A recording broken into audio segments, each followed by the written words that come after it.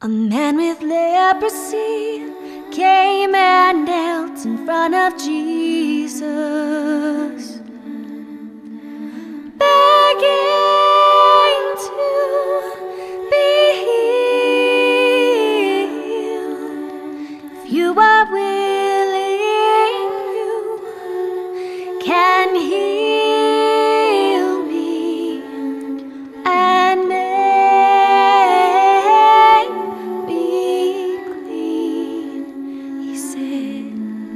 moved with compassion, Jesus reached out and touched him.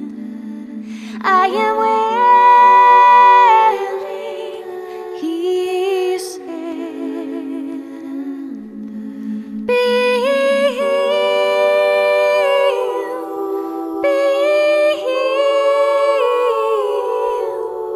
healed. Instantly, the leprosy disappeared, and the man was healed.